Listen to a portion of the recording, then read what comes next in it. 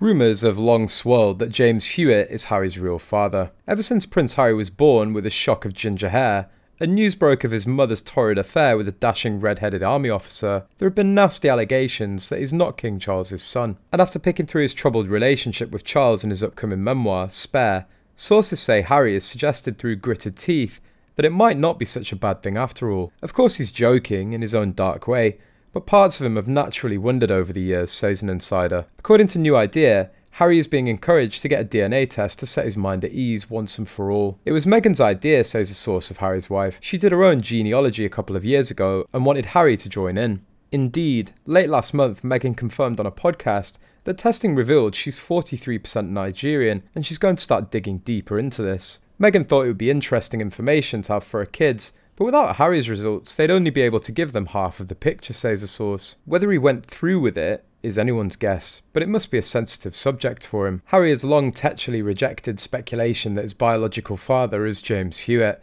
The former cavalry officer, now 64, had a five year affair with Princess Diana while teaching her sons to ride horses. It is understood that the illicit relationship began two years after Harry's 1984 birth, but that hasn't stopped palace scuttlebutt, even though most courtiers agree that Harry is looking more like 73 year old Charles as the two men age. A publishing insider says Harry has been pushed by his ghostwriter J.R. Moehringer to dig deep into the relationship with his father, so it's likely he will have addressed the Hewitt rumours in spare. What is certain is that Harry will reveal in this book that he feels Charles hasn't been much of a father, even though they almost certainly share the same DNA. Meghan wants her husband to find out the truth. Parts of him have wondered over the years. After Queen Elizabeth's passing, paternity theories swirled about Princess Di's lover. A source told Radar Online, as Harry was growing up, his likeness to Hewitt became more and more apparent.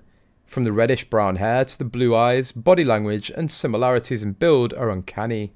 In the past, Hewitt had claimed he met the princess at a dinner party in 1985, a year after Harry was born. However, there are reports that he and Di met years before when he played polo with Charles. Hewitt was seen inside Charles and Diana's Kensington Palace home on several occasions in 1983, 12 months before Harry was born, said author Nicholas Davies, who's written numerous books on the royals. When the duo first grew close, he was a staff captain in the Life Guards and agreed to give her riding lessons. Only one thing went wrong. We fell in love, Hewitt later wrote. In a 1989 letter that she penned, Diana also gushed over the connection they felt.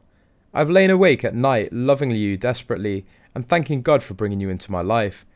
I just long for the days when we finally will be together for always, as that is how it should be, she wrote. Hewitt was soon after dubbed a love rat for dishing about his five year affair with Diana amid news he planned to sell her love letters before ultimately having a change of heart. By 1995, Diana opened up about their romance during an interview, confessing to being unfaithful as her own marriage crumbled.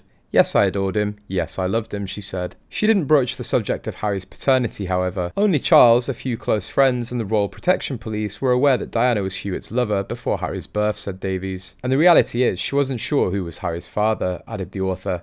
In her heart, she wanted it to be Hewitt, and she suspected that it was more likely to be him than her husband.